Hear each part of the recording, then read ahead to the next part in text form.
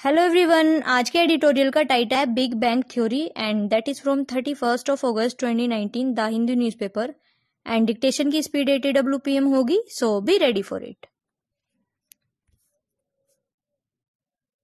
For its sheer magnitude, the scale and the ability to disrupt the status quo, the mega bank mergers announced by Finance Minister Nirmala Sitharaman on Friday must go down as the most significant the banking industry has seen in the five decades since nationalization.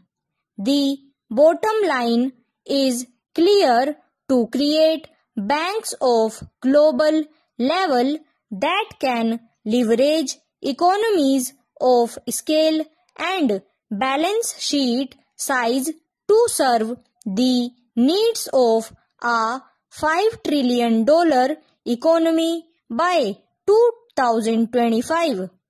The jury is of course out on whether this strategy will succeed.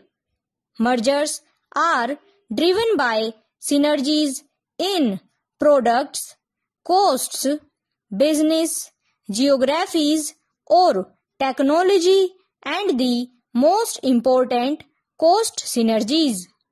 While there may be some geographical synergies between the banks being merged unless they realize cost synergies through branch and staff rationalization the mergers may not mean much to them or to the economy.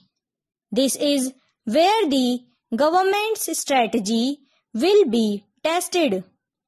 It is no secret that public sector banks are overstaffed.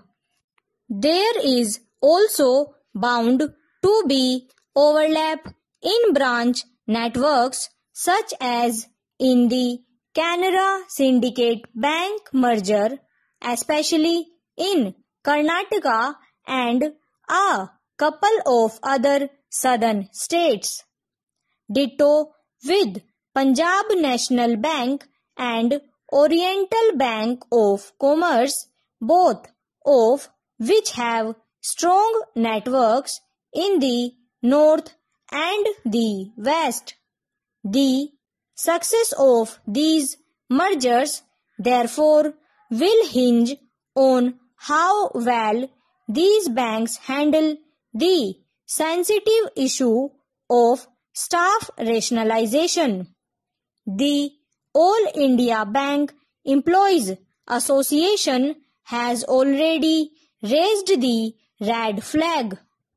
It was the Narasimham Committee in the late 1990s that recommended consolidation through a process of merging strong banks. The issue has been the proverbial bee in the bonnet of successive governments since then. What the committee also recommended was shutting down the weaker banks and not merging them with the strong ones as is being done now. But this is obviously not an option politically even for a government with a brute majority in parliament. The biggest plus of the mergers is that they will create banks of scale.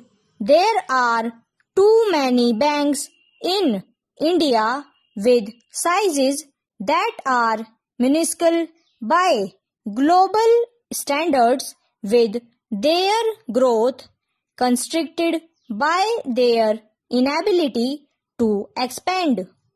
Yet this advantage of scale cannot be leveraged without adequate reforms in governance and management of these banks.